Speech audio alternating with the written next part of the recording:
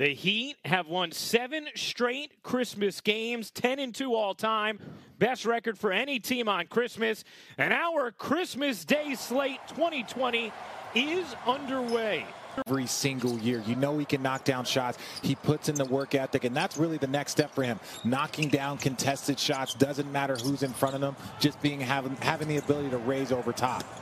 Adebayo. Looking ahead, and when you have a power forward that can get out on the break and finish, the first thing you want to do is look up for that receiver.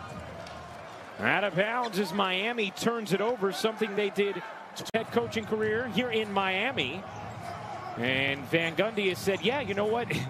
It, it has been difficult implementing all this change for, for his team in an abbreviated preseason. Said sometimes he doesn't know is he not giving him enough? Is he giving him too much? Trying to find the right balance. As Ingram draws the whistle. Shots and limiting second shots of your opponents. Goran Dragic into the game for Miami. Nico Melli for New Orleans. And there's the first two of the game for the Heat as Bam Adebayo. Hard out there with Jaxson Hayes, Redick, Bledsoe, and Williamson. Iguodala gets another look. Instead, we'll give it up to Adebayo. Oh. And you are right, Richard. This matchup between the Pelicans and the Heat, the first of five games today on our ESPN family of networks as Redick leaves it short. Against Bam, two on the shot clock.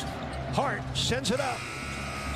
And another outstanding segment of defense for the Heat, turning into that. A Bam slam uh, situations where Miami's coming up with the loose ball and, and getting out on the break.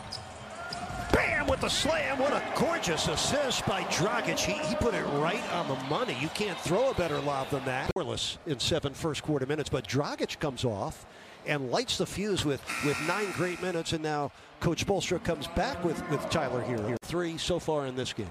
Interesting to see just the chess game that goes on in an NBA game right now. Coach Spo is, wants to make sure that Meyers Leonard is on the time you, you, you come over to our side.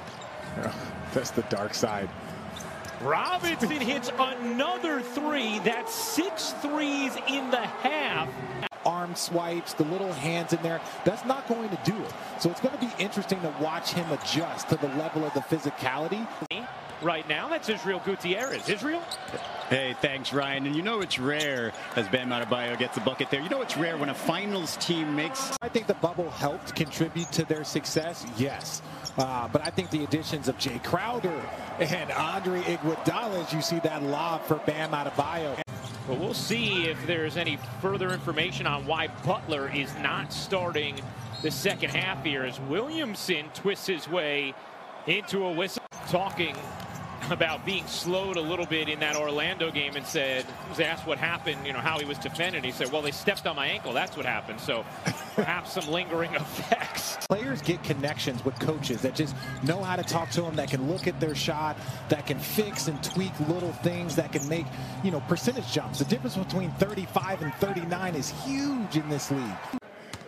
No, but look, what I like about Bam Adebayo is his versatility. Everyone talks about it but he does so much of running their offense, uh, of rebounding.